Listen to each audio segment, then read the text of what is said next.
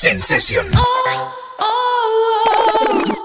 Desde el 5 de febrero, Star Trek se expande todavía más gracias a Star Trek Online, el nuevo multijugador masivo online desarrollado por Cryptic. Este nuevo viaje sucede tras los hechos de la última película, aunque el universo que nos ofrece el juego también nos permitirá vivir pasajes y guerras anteriores y posteriores al film.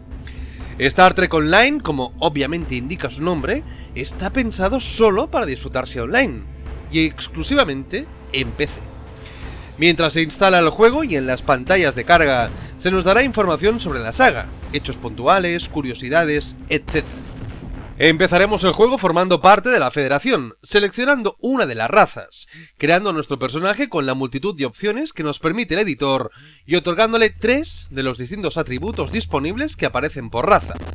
También podemos crear a nuestra raza particular, otorgarle atributos propios y redactar su biografía. Tras la creación del personaje diseñaremos nuestra nave. Si uno y uno son dos, crear un personaje y una nave es igual a misiones a pie y batallas espaciales. Elemental, querido Watson. Las misiones que se nos encargarán irán desde los más sencillas como explorar el entorno, escoltar a tal o cual personaje, eliminar amenazas, conquistar, etc. Iremos mejorando al personaje subiéndolo de nivel conforme completamos misiones, así como podremos ir escogiendo los cuatro personajes que nos acompañarán, pudiendo cambiarlos por otros. Nosotros les daremos órdenes y cada uno será fundamental para X función. Su nivel también irá incrementando con los éxitos. Es posible invitar a un amigo a formar parte de nuestro equipo, aunque solo uno podrá dar órdenes. En las misiones espaciales se nos plantea desde derribar a naves enemigas hasta llegar a X lugar, por ejemplo. En las misiones con naves, al principio tendremos una velocidad ridícula de crucero, aunque esta la incrementaremos con las modificaciones que iremos aplicando con piezas que encontremos, así como con nuevas naves que podremos pilotar. Saber controlar escudos, potencia, velocidad y ataque será básico para que no nos convirtamos en chatarra espacial. Como hemos dicho al principio, empezaremos siendo de la Federación, aunque podremos tomar el papel de otras razas cuando alcancemos cierto nivel. También así desbloquearemos nuevas zonas de juego, logrando un espacio enorme en constante evolución gracias a próximos mods, actualizaciones y expansiones.